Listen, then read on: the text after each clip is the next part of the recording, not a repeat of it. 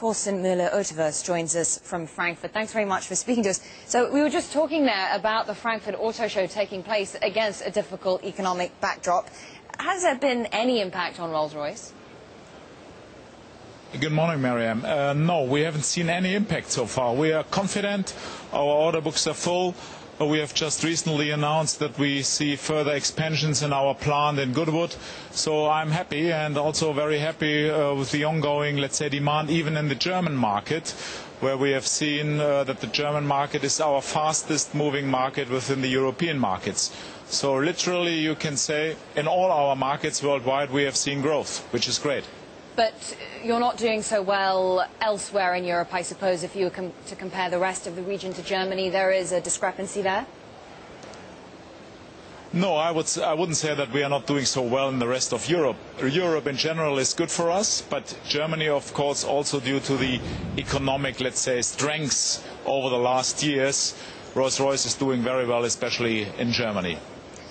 I mean, I suppose all the car brands were hit bad during the financial crisis. They were hit hard. What are your expectations for this year and the next? You uh, sound incredibly confident, but can this performance be sustained with such strong headwinds here in Europe?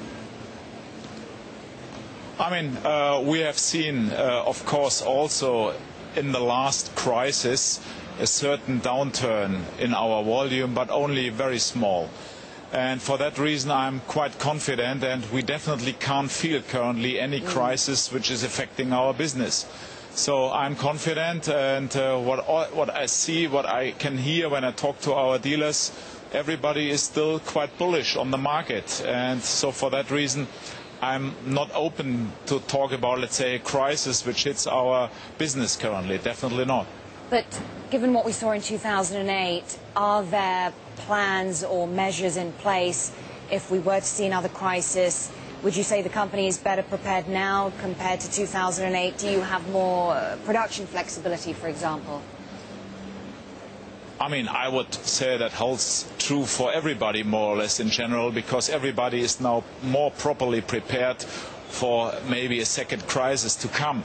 And of course, within Rolls-Royce, we always had been very, very flexible. Also within the crisis in 2008, the company is easy to breathe with all demands coming from the market. And the recent announced investment we have announced yesterday in the plant expansion is exactly also to give us even more flexibility to cope with coming demand or even slowing down demands. So I'm not worried about that. We are very well prepared. Well, so you're very confident, Mr. Ötvös, but I just want to take a look at the stock price now of your parent company, BMW. Because if you just, just check out this chart over the course of the last five years, I know that you can't see it, but I'm just describing it to you. Over the course of the last five years, shares have more than recovered from their 2008 lows, but just look at that. They've fallen back in line with the rest of the market in recent weeks. So, I mean, tell me, does that suggest that investors are perhaps more worried than you are about the outlook for BMW, perhaps the auto industry at large? No, I would say in general BMW Group is also very confident that the business is still very strong. And when you have recently uh, heard what our, let's say, board member for finance issued, uh, so order books are great also for the BMW Group in total. So I can't comment on what exactly happened now in detail with the share price.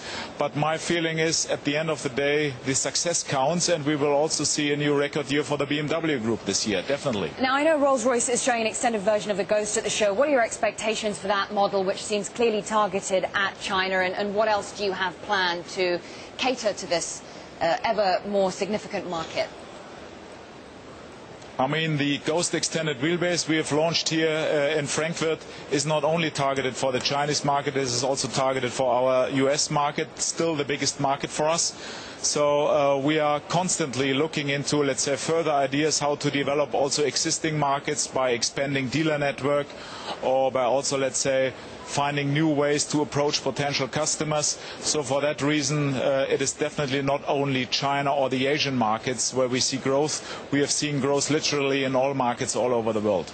I mean, your competitors, Mercedes-Benz and Audi, are enjoying surging demand in China. I know you say you're enjoying growth all over the world, but just focusing on China, what steps are you taking to make sure that your brand, your product stands out?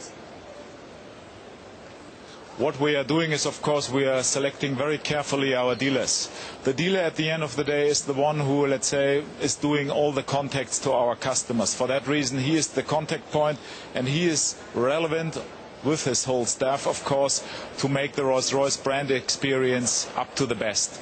And for that reason, all the dealers we have so far selected, eight dealers in the Chinese markets and more to come, have all proven to be very successful by entering into the right, let's say, target group which is capable to afford a Rolls-Royce. Thanks very much for joining us, Torsten Müller-Ötvös, CEO of Rolls-Royce Motor Cars.